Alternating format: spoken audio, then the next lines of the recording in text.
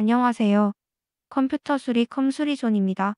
2016년에 구입했던 LG 노트북 속도 빠르게 해달라고 당일 출장을 부탁하셨습니다. 모델명까지 알려주셔서 해결 방법까지 알려드렸습니다. 원하는 용량으로 SSD 업그레이드를 진행하기로 했고 30분이면 끝나지만 입고해서 진행했습니다. 장소가 여의치 않아서 어쩔 수 없다고 하시더군요. 퇴근하고 작업을 진행했고 후면을 보고 저장 장치 위치부터 파악합니다. 제품에 따라 위치가 다르기 때문이겠죠? 오래된 기종인 만큼 바로 보이더군요. 나사 두 개만 풀어주고 앞으로 당기면 손쉽게 덮개를 열 수 있습니다. 가이드와 함께 도시바 1TB 하드디스크가 보입니다. 플라스틱 재질 부분을 잡고 위로 들어 올리면 세터 젠더를 분리할 수 있습니다. 그리고 고무 몰딩과 가이드를 분해해 ADATA SSD 256GB에 조립합니다. 아주 간단하죠? 오랜만에 보는 구조입니다.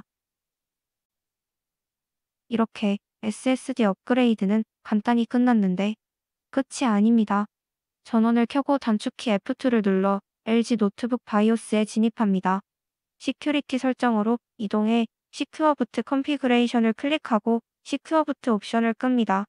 이후 Boot 설정에서 iODD Virtual CD-ROM을 첫 번째 순서로 변경하고 Exit 설정으로 이동해 Exit Saving Changes를 클릭합니다. 사용자도 기대를 하고 있겠지만 어느 정도 성능 향상이 있을지? 솔직히 동일한 제품이라고 해도 약간의 성능 차이는 있을 수 있습니다. 윈도우 10 설치 과정에서 ADATA SSD 256GB의 파티션은 나누지 않았습니다. 웬만하면 SSD는 파티션을 나누지 않고 별도의 백업용 저장 장치를 사용하는 것이 좋습니다. 여러 업체에 전화를 했는데 노트북을 새로 구입하라는 분도 계셨다고 합니다. 지금도 인텔 코어 i5 4210m CPU 구성은 많이 사용하는데 왜 EZDrv7을 실행해 각종 드라이버는 설치해드렸고 확실히 빠른 속도를 보여줬습니다. 사용자도 충분히 만족할 것 같고 잘 해결했습니다.